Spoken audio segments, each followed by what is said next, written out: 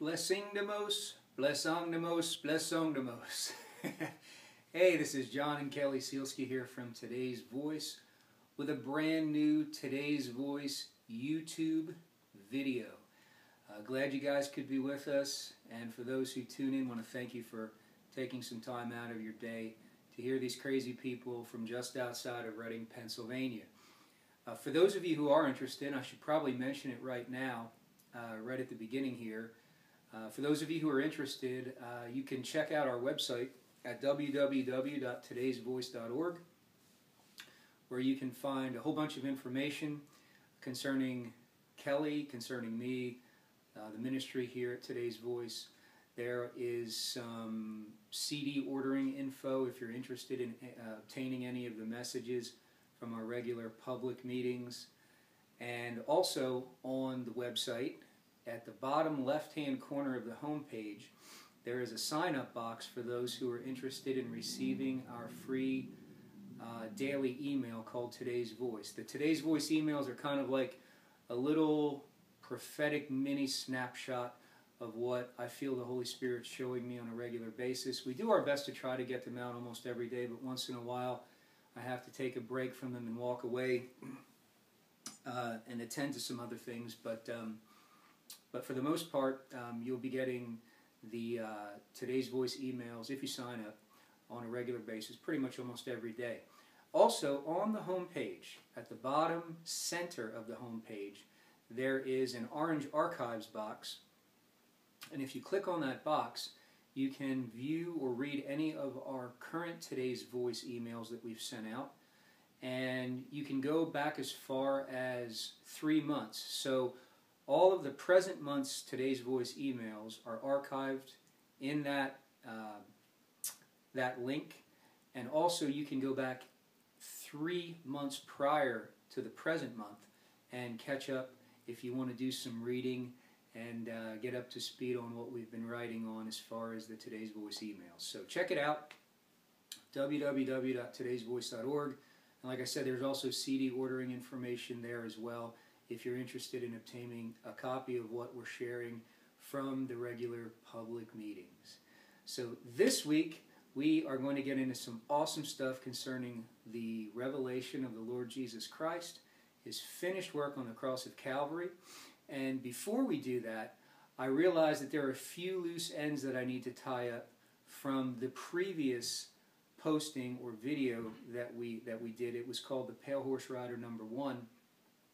And so, uh, what I want to comment on for just a second here before we get into the new material is something that I had shared on that video, and it, it was basically along the lines of this, and that was under the Old Covenant, in the Old Testament, the Jewish people, if you read this in the, you can read this in the book of Leviticus, just look it up.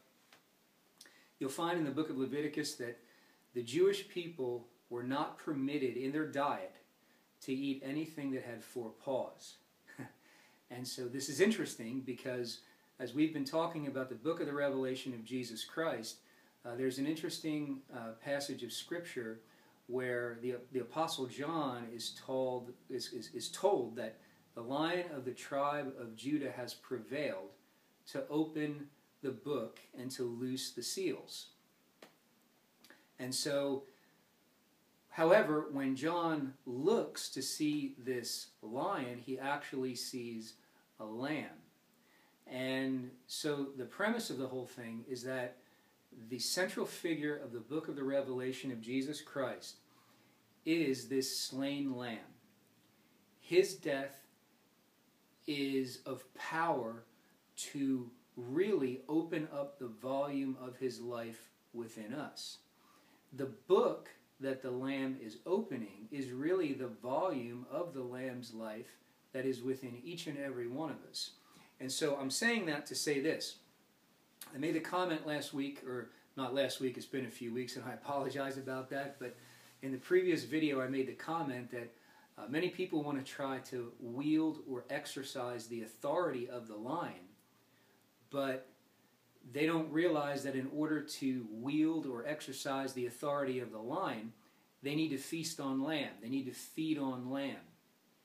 And what I meant when I said that was that there's a lot of uh, misunderstandings today about, you know, if you want to think about the, the life of the lion, we're talking about resurrection life. And so folks want to walk in resurrection life. They want to demonstrate resurrection power. That's all well and good. That's part of the gospel. But where I think we've missed it a lot is that in all of our striving to, you know, learn how to heal the sick, learn how to cast out devils, learn how to raise the dead, you know, all these things somehow or another have, I want, I want to say, devolved into some type of an application but you know, resurrection life is not an application. It's you know, the book of the revelation of Jesus Christ is called the book of the revelation of Jesus Christ. It is not called the book of application.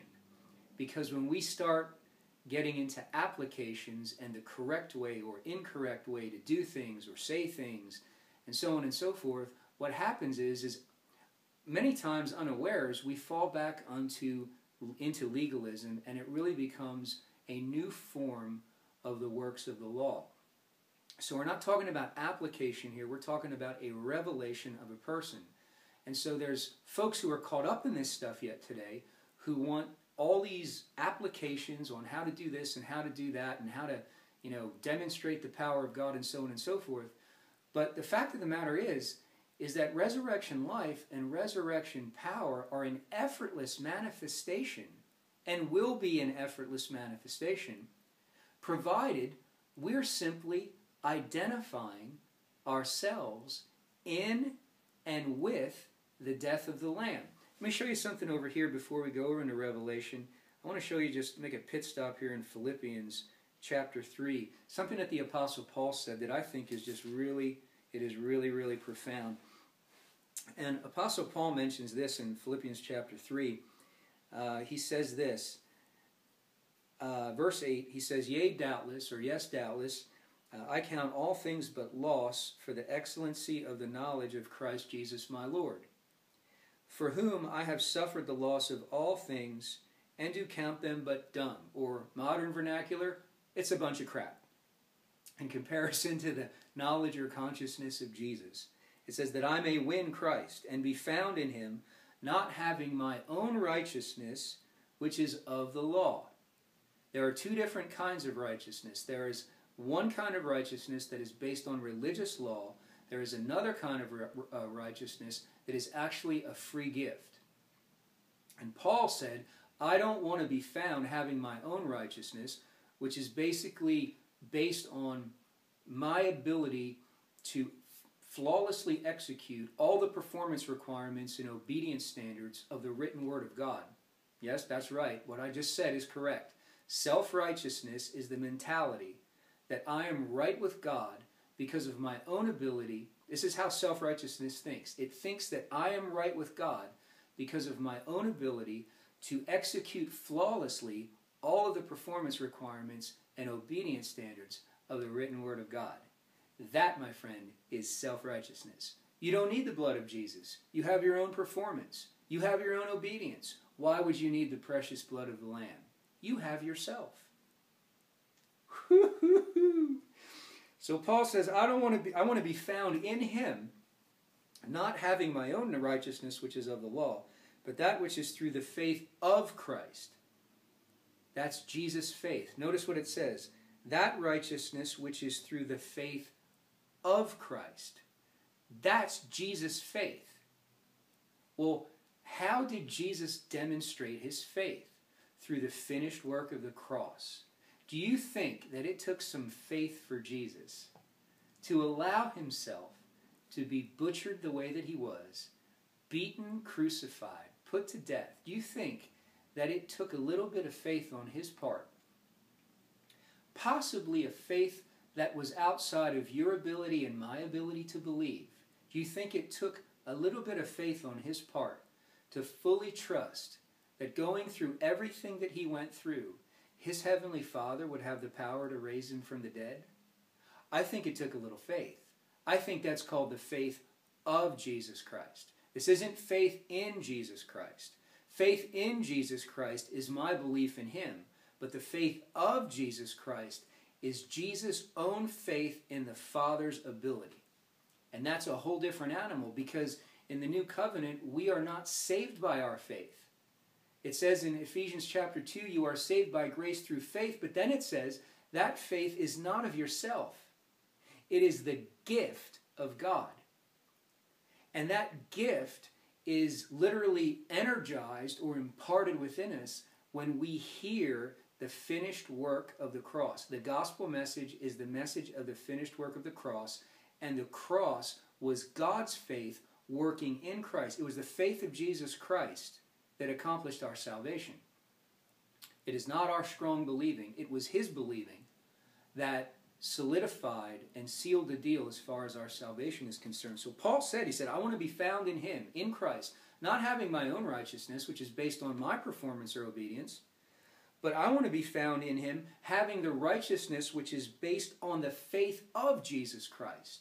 See, Jesus' faith fulfilled all the law and the prophets, and His finished work has now bestowed upon us a gift it's called righteousness. it's a free gift. You can't do anything for it, you can't do anything to lose it. And, and Paul said, That is the righteousness that I want to be found in possession of. And then he says, The righteousness which is of God by faith. And that's Jesus' faith. Now check this out. This is my whole point behind saying this. Verse 10 That I may know him and the power of his resurrection and the fellowship of his sufferings. Here's the catch being made conformable unto his death, if by any means I might attain unto the resurrection of the dead. Now, what Paul is saying is not that he hopes that someday God will raise him from the dead after he physically dies and his body gets put in the ground. What Paul is saying is that the simplicity of walking and living in resurrection life, living a life that demonstrates the resurrection power of Jesus Christ is as simple as identifying or being made conformable unto his death. In other words, if you want to wield the authority of the lion, you have to feed or feast on the death of the lamb.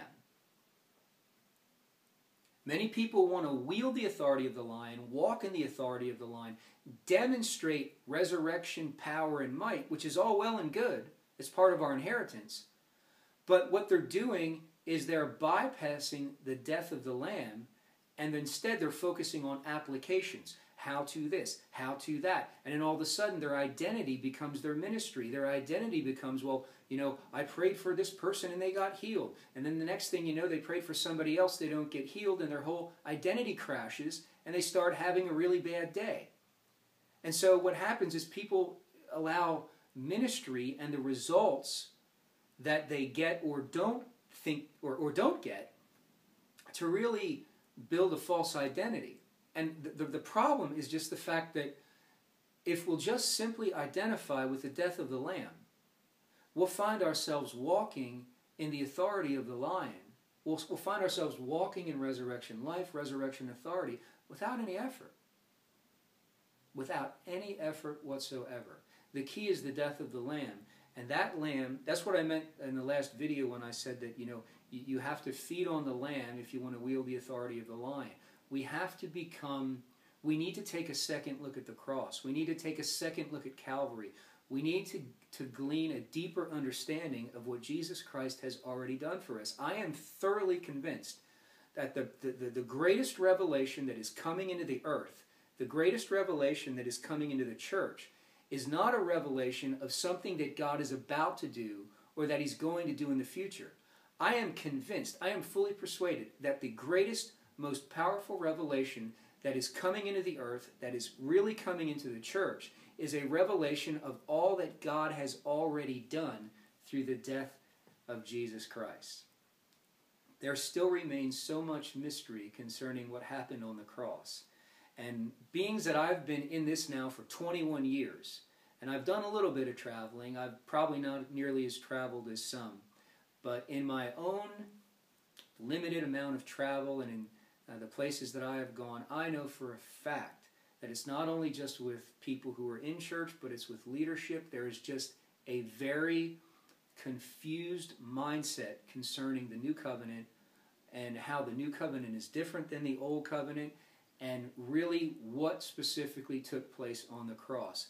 That ignorance of that truth, the cross of Jesus, is rampant and it is everywhere.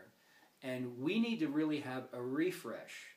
We need to take a second look at this cross of Jesus Christ and, and really understand you know, the depth uh, and the heart of the Father that's revealed through it. Uh, I guess before we go into this, uh, what we're going to look at in the Revelation here, because time is running short, I see, and we might not even get into some of this stuff, but uh, the one thing that I do want to mention here is that, and I just kind of feel this on my heart right now, is that we have been taught in general that the death of Jesus Christ was a sacrifice in which he died for us. You know, Christ died for me. And although that's true, we really need to push the envelope further than just the fact that Jesus died for me. The fact of the matter is, I should say the truth of the matter, is that Jesus did not just die for us, he died as us. He became John Sealski. He became you, whoever you are, who are watching. You say, well, what's the significance of that? Significance of that? The significance is, is that if the wages of sin is death, but in the physical body of Christ on the cross, you have already been made to pay for your sins. You and I have jointly, mutually died together in Christ and with Christ.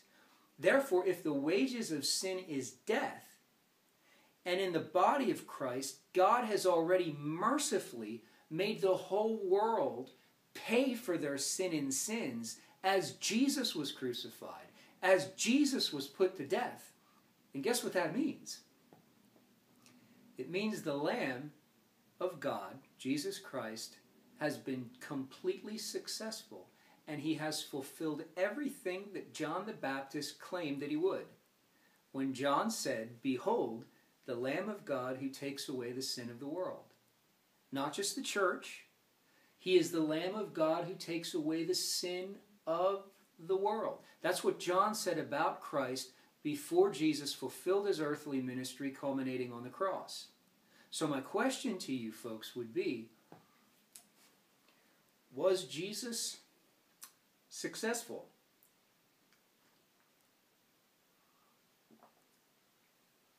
Because if he was, then in the mind of God, the sin of the whole world has already been taken away, removed, forgiven, and forgotten. That sounds like good news to me. That sounds like those who continue to preach on sin maybe need to uh, zippy the lippy a little bit and take a second look at Calvary because what Christ did for me, what Christ did for you, he did for the whole world, he did for every man. He didn't just die for us, he died as us. I just read you a few scriptures here because I think this is going to be the summation of this this time. We'll get into some more Pale Horse Rider next week, uh, just for the sake of time, because uh, I don't want to have these videos be very long, but uh, just kind of whet your appetite and give you a little bit of a tease. But Second Corinthians chapter 5, um, actually we're going to read here in verse uh, 14. This is something the Apostle Paul wrote to the Corinthians. He said, For the love of Christ constrains us. Let me read this to you in the Greek. It means to hold together, to compress the ears, to arrest, to compel, to perplex, to afflict, to preoccupy, to keep in, and to lie sick of. I mean, the love of God will drive you nuts. Because, let me just read the second part here. It says, Because we thus judge that if one died for all, that was Christ, one man died for all. And we, we, we mentioned he didn't just die for us, he died as us. If one man died for all, then all were dead when that one man died. Remember what he said about his crucifixion. He said, If I am crucified, if I am lifted up, I will draw all men unto myself. This is John chapter 12. One translation actually says, If I am lifted up and crucified, I will draw all men into him, into myself. I will draw all men into myself. On the cross, Jesus became this like I don't know what you call it, black hole vortex magnet. He just sucked the entire creation into himself. He became every man. On the cross, every man became him. Paul even wrote in Galatians 2 I am crucified with Christ. Nevertheless, I live, yet it's not me doing the living, but Christ lives in me, and this life that I'm living in my body, I am now living by his faith the faith of the Son of God who loved me and gave himself for me as he did for every man. So when Christ was crucified and lifted up, he literally ingested and absorbed the entire creation into himself. And Paul wrote here, he said, The love of Christ constrains us concerning this issue as far as judging people. He said, Because we thus judge that if one died for all, then we're all dead when that one man died. So if the wages of sin is death, and I get that, but the issue is if the wages of sin is death, and all men have already been made to pay for their sin in the body of Christ when Jesus was crucified, then that means you and the whole world in the mind of God are in the clear. You're forgiven. The Lamb of God has taken away the sin of the world. Why is the church still making an issue out of sin and sins when Jesus, in his own body, absorbed it all, put it all to death, not just our sin, but every one of us. Isn't that a trip? One man died for all because one man became all. And when that one man died, the whole world died. Wow, the whole world's forgiven. The whole world is forgiven. They just don't know it. And from the gospel that the church is preaching and has been preaching, how would the world know it?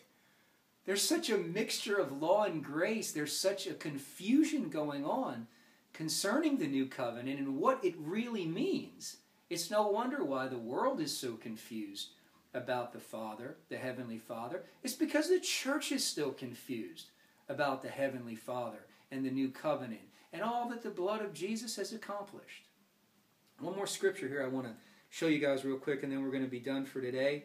Um, I've already kind of gone over time a little bit, but I just wanted to get this one in here just so you can see another reference. It's in Hebrews chapter 2. This is also a pretty cool reference here concerning this merciful, loving Father who has already made the entire world pay for all their sin and sins in the physically broken and torn body of Jesus Christ on the cross. The whole world has been forgiven and in the clear for over 2,000, nearly 2,000 years, I should say.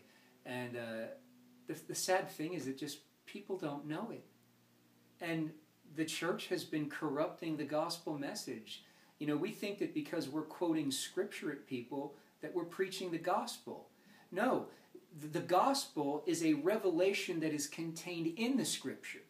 And you can quote scripture at people all day long like a machine gun. You're not preaching necessarily the gospel of Jesus Christ when you do that.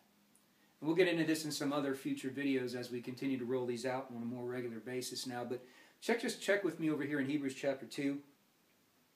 I love this. Verse 9, one, one verse of scripture just real quick here. It says Hebrews 2 verse 9 it says but we see Jesus. Thank God for the revelation of Jesus Christ. It says who was made a little lower than the angels for the suffering of death. Watch this. Crowned with glory and honor that he, Jesus, by the grace of God should taste death for every man. That sounds like what the apostle Paul wrote in 2 Corinthians 5:14 that when that one man died, he died for all. So when that one man died, all men died. And since all men have already died, since all men have already been made to pay for their sins, in the in the selfless act of the cross of Jesus Christ, in the body of Jesus' own flesh, in his physically broken and torn body, all men have already been punished, all men have already been put to death, and therefore, in the mind of the Father, the world is completely and unconditionally forgiven. And what that means, since Christ, by the grace of God, has tasted death for every man, that means you and I have some good news to preach. You and I have some very good news to preach of such an unconditional love, such an untraditional love, that it should just take people off guard and captivate them. But when you look in, in general in the modern day church culture, you hear a very different message. And a lot of it is confusion. It's a mixture of, well, you know, I know Jesus died for you, but you still have to do A, B, C, X, Y, Z. And there comes the law in again. And so we're going to talk more about this in, in a lot more depth, a lot more detail in the weeks to come. Next week, we will get into the uh, second part of the Pale Horse Rider, just a general overview of the Pale Horse Rider. I hope this blessed you guys today. Uh, look forward uh, to seeing you next week, and we'll send you out another announcement when the next uh, Today's Voice YouTube video is posted next week. But God bless you guys. Love you. Remember, uh, Heavenly Father loves you, and there's nothing that anybody can possibly do to change that. In fact, there's nothing you can even do to change that. His love is an unconditional love, and when you really get a revelation of it, you just lose your taste for everything else, and that's the way it's supposed to work. Amen. Well, God bless you guys. We love you, and have a great week. We'll see you next week. Amen. Bye bye.